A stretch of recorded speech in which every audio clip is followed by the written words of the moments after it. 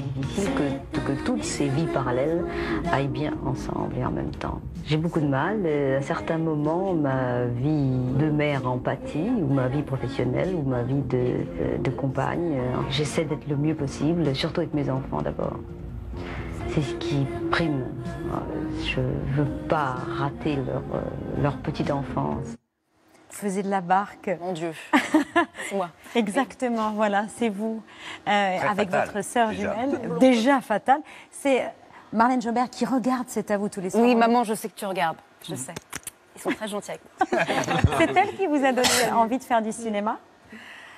Euh, oh, C'est un petit peu compliqué. Je, je, je, je, sais pas, je savais que je voulais faire quelque chose dans ce milieu, peut-être euh, réalisatrice, productrice. Je regardais beaucoup de, de, films enfants, mais c'est vraiment, je crois, en faisant les choses, en allant euh, à l'école dramatique chez, chez Saint-Paul, que j'ai pris, pris goût à ça. C'est en faisant les choses et, voilà. Après, je me suis dit bon, allez, on essaye, on fait du théâtre